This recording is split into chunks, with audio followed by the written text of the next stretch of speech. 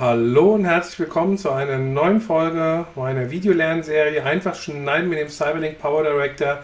Mittlerweile in der Version 18 und ich benutze die Abo 365 Version und habe die jetzt seit über einem Jahr in der Benutzung und ich bin recht zufrieden damit und möchte euch nun Neuerungen in der Version 18 vorstellen. Heute geht es dabei um den Formdesigner. Das ist ja ein Feature, was Cyberlink auf der Homepage hier anpreist. Und zwar, dass der Formdesigner jetzt mit konfigurierbaren Vektorgrafiken arbeitet. Eine kurze Info, was sind Vektorgrafiken? Es ist entweder gibt es eine JPEG-Grafik oder eine Vektorgrafik. Die JPEG-Grafik hat immer eine feste Anzahl an Pixeln, die ich im Vorfeld definiere. Die Vektorgrafik hat solche Pixel nicht sondern hat, egal wie groß ich sie skaliere, immer die gleiche Qualität. Und das ist letztendlich ein großer Vorteil, weil jetzt, wenn man hier diese Sprechblase sieht, egal wie groß man sie zieht, sie sieht immer qualitätsmäßig zu 100% aus. Und das wollen wir jetzt heute einfach mal testen. Wir gehen in das Programm rein. Ich habe eine Videodatei schon mal hier hingelegt. Wir befinden uns hier in Domaso am Como See in Italien. Und jetzt möchte ich den Formdesigner aufrufen. Und das ist gar nicht so einfach, weil hier oben findet man ihn nicht. Sondern man muss hier auf dieses Symbol gehen, Video Overlay Raum BIP Objekte. Und dann habe ich halt hier, sage ich mal jetzt zufälligerweise schon die Form ausgewählt. Das sind nämlich genau die Formen. Und hier habe ich schon äh, ein paar Formen in der Auswahl, die ich natürlich auch benutzen kann. Ich möchte euch aber zeigen, wie man eine eigene Form erstellt, weil die vorgefertigten vielleicht nicht immer passen, von den Farben zum Beispiel. Okay, wenn ich hier drinne bin, in dem Video-Overlay-Raum, dann gehe ich auf das Symbol Neue Form erstellen, klicke drauf und jetzt öffnet sich der Formdesigner. Und jetzt habe ich hier entsprechende Formen. Zufälligerweise ist jetzt hier dieses Quadrat ausgewählt bzw. Rechteck. Durch einfache Auswahl kann ich diese Form hier entsprechend umändern. Das ist sozusagen die Vorauswahl an Formen, die ich habe. Mich würde jetzt diese Form hier interessieren, um in diesem Video eine gewisse Ortsangabe zu machen. Das heißt, ich erinnere mich grob, wie mein Video aussieht und kann hier letztendlich sim relativ simpel mit der Maus diese Form platzieren, größer machen, kleiner machen. So, das soll es jetzt erstmal so sein. Ähm, dann haben wir hier gewisse Vorgaben der Formatierung. Das gefällt mir aber persönlich nicht. Schauen wir uns die nächsten Menüs an. Formfüllung.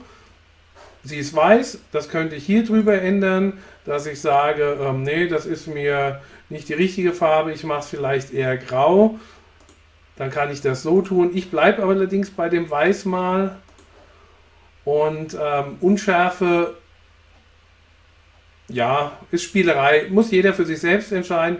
Hier kann ich noch die Opazität einstellen. Das kann manchmal sehr schick sein, wenn ich nur einen Rahmen haben möchte. Aber ich sage, Opazität soll 100% sein, damit die Schrift auf jeden Fall richtig gut lesbar ist. Dann gehen wir zum Formumriss. Da habe ich hier drei Linientypen gestrichelt und noch feiner gestrichelt. Dann kann ich hier noch die Größe einstellen und auch hier eine gewisse Unschärfe. Ich bleibe bei der durchgezogenen Linie. Bei mir soll die Unschärfe gar nicht vorhanden sein.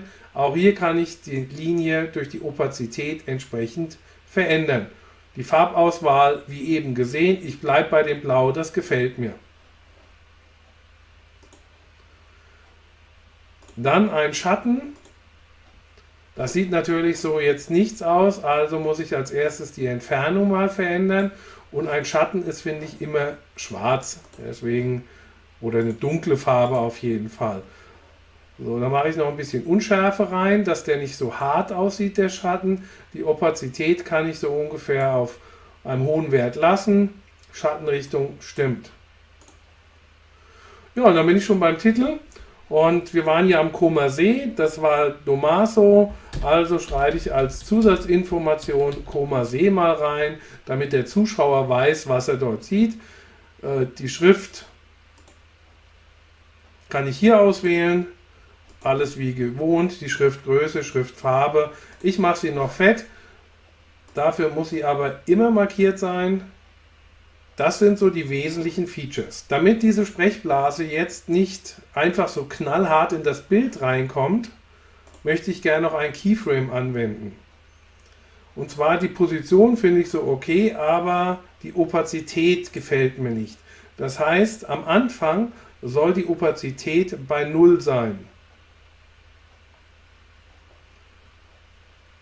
Die finden wir hier. Ich setze sie bei 0 und nach 2 Sekunden soll diese Kasten aufgehen. Ich stelle hier die 2 Sekunden ein, gehe auf die Return-Taste, Cursor springt hier hin, mache den nächsten Keyframe, gehe auf Opazität 100% und das war's. Jetzt habe ich eine eigene Form erstellt.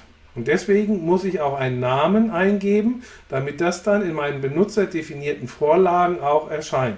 Ich nenne sie mal Comer See, dann kann ich sie wieder leicht finden bestätige das und jetzt ist meine Form erstellt und jetzt ist sie unter Benutzer definiert drinne, Koma See. Ich kann sie auch über die Bibliothek suchen, wenn ich auf alle Inhalte bin, gebe ich jetzt Koma ein und dann habe ich die Form. Okay, so habe ich eine eigene Form erstellt, die ich jetzt auf meinem Videoclip anwenden kann. Ich ziehe diese eigene Form runter auf eine freie Videospur und spiele das Video ab und hier sehe ich jetzt schon, so ist die Größe, also relativ gut gewählt. Ich könnte mir vorstellen, dass wir das hier noch ein bisschen runterziehen oder hier so ein bisschen in die Mitte ziehen. Wir warten mal ab. Wir spielen mal das Video ab. Das ist eine Drohnenaufnahme gewesen, die ich da machen könnte. Wir hatten einen schönen Tag, also Komasee ist wirklich toll. Und jetzt wird das hier eingeblendet. Ja, also ich finde, das ist jetzt hier deutlich zu lang geworden.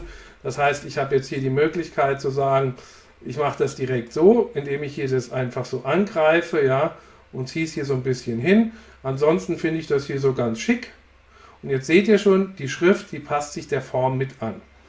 Wenn ich jetzt allerdings sage, naja, irgendwie passt das alles nicht so, das möchte ich doch anders haben, dann mache ich wieder einen Doppelklick hier drauf und schon bin ich jetzt wieder in dem Formdesigner drin und könnte noch weitere Anpassungen machen. Ihr seht die Form nicht, weil ihr habt ja ein Keyframe eingegeben. Und da ist immer an der Stopp-Position, also am Anfang ist, keine Opazität, deswegen nicht wundern. Geht ihr hier hin, seht ihr das und dann könnt ihr quasi am lebenden Objekt eure Anpassung vornehmen. Mir passt das soweit alles ganz gut und für mich habe ich jetzt diese Form erstellt, um hier dem Zuschauer zu sagen, wo das ist. Habt ihr schon mal mit dem Formdesigner was gemacht? Wenn ja, würde es mich interessieren, was ihr damit so macht, welche ähm, Schwierigkeiten oder äh, welche besonderen Erlebnisse ihr damit habt. Schreibt es mir doch in die Kommentare. Freue mich sehr über ein Abo, einen Daumen hoch und sonstiges Feedback. Und ich bedanke mich für das freundliche Zuschauen. Ich hoffe, ich konnte euch ein bisschen helfen und sage Tschüss, bis zum nächsten Mal.